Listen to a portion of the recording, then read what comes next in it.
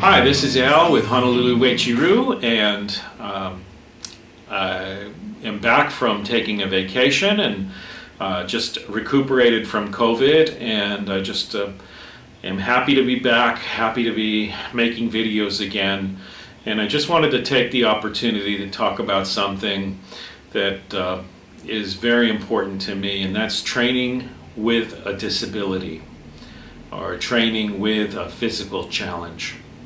Uh, of course, uh, a lot of us have been facing lots and lots of challenges in life recently, and I just want to try and encourage people and let them know, particularly my students, um, and for my students after maybe I'm gone, uh, I want to leave some some input for you that um, will hopefully inspire you even after where I'm gone because you know death comes for all of us sooner or later.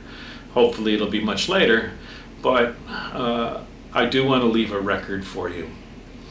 So uh, as you students of mine know, I train with a physical disability and it was caused in the year 2000. I was in a very bad horse riding accident which completely shattered my tibia from my knee all the way down to my ankle.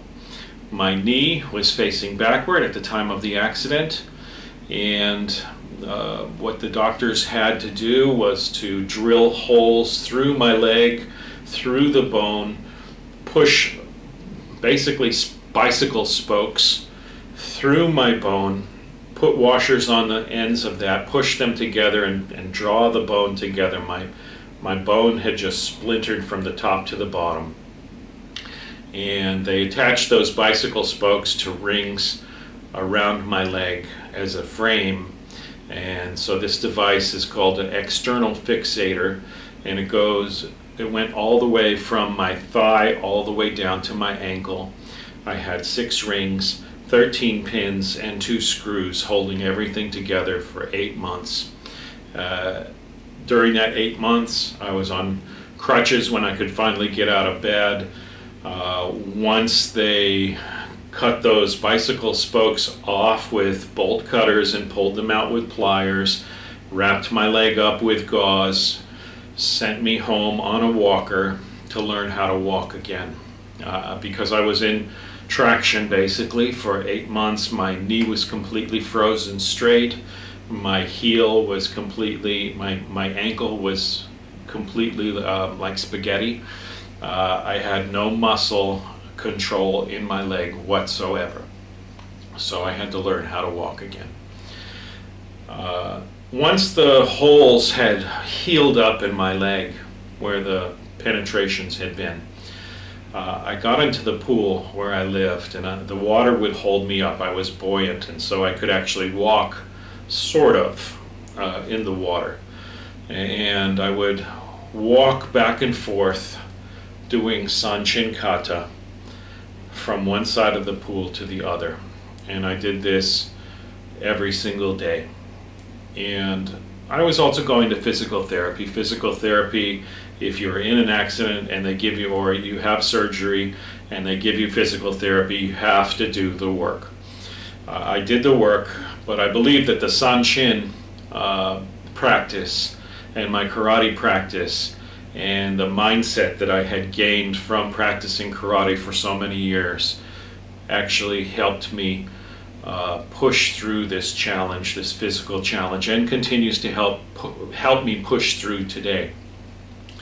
Uh, I, you know, not many of us will get into a fight, but all of us will experience terrible things in our life. We will experience loss. We will experience accidents. We will experience sickness.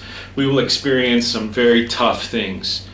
And I'm strongly of the opinion that the martial arts, one of the prime benefits of showing up to class every single training session and pushing through our limitations, I'm strongly of the opinion that that is one of the most important things that we can get from the martial arts is to learn how to work through these challenges. So I have to work through this on a continuing basis as well.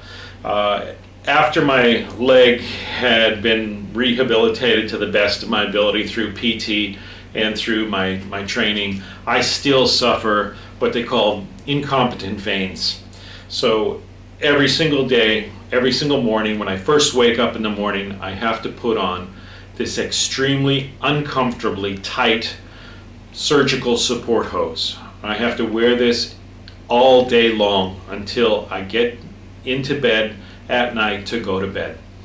Whenever I am at home, I have to raise my leg up higher than my heart and put it up on pillows because of my incompetent veins, the blood leaks out of my veins. The veins, the, the veins in my right leg are shot, and I'm a high uh, risk category for venous thrombosis and uh, pulmonary embolism. So that could happen. Uh, I acknowledge it, I recognize it, and I accept it. Uh, I do whatever I can to mitigate that possibility. So I wear the, the compression hose. I put my leg up whenever I can. Exercise is actually quite good for me. Sitting down is the worst thing I can possibly do. There's valves in your legs that open and close, and they keep the blood from going back down in your leg. They keep it pumping back up to your heart. In my case, those, those valves are destroyed. So if I sit for any length of time, the blood will leak out.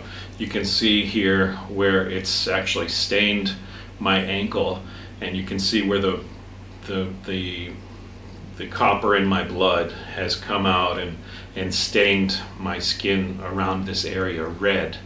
Uh, the other problem that I have if I don't take care of myself is I will develop venous ulcers on my ankle. I've developed several of those in the past couple decades, although I seem to have that under control, knock on wood, uh, through my practice of elevating my leg and using the surgical support hose and getting as much exercise as I possibly can.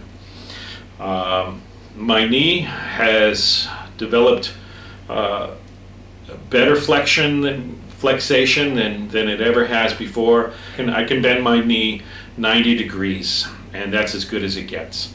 So I have to modify my karate. I have to do things, uh, my stance, I maybe have to modify a little bit. My kicks, I have to modify a little bit. Um, certain things I have to work around. Uh, my, my jump back in Seisan, that doesn't happen very well anymore. It's extremely uncoordinated, so I typically just step back into Seisan. Uh, unless I'm feeling really, really good that day.